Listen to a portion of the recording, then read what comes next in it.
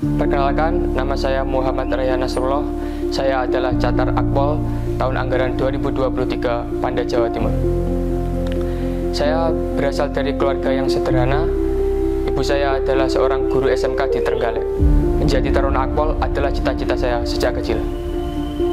Saya mengucapkan terima kasih kepada Bapak Kapolri, Bapak Kapolda Jatim yang telah menyelenggarakan rekrutmen Polri khususnya Akpol dengan bersih, transparan, akuntabel, dan humanis, serta tidak dipungut biaya sepeser pun.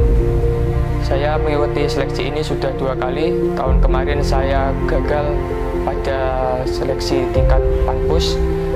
Atas kegagalan itu saya tidak patah semangat karena kedua orang tua saya, terutama ibu saya selalu berpesan, kegagalan adalah kesuksesan yang tertunda, pantang menyerah dalam meraih cita-cita.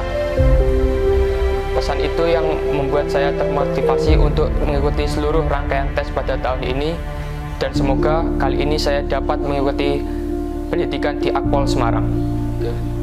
Saya Rehan, catar dari Panda Jatim akan terus berjuang apa pun hasilnya nanti saya serahkan kepada Allah Subhanahu wa taala.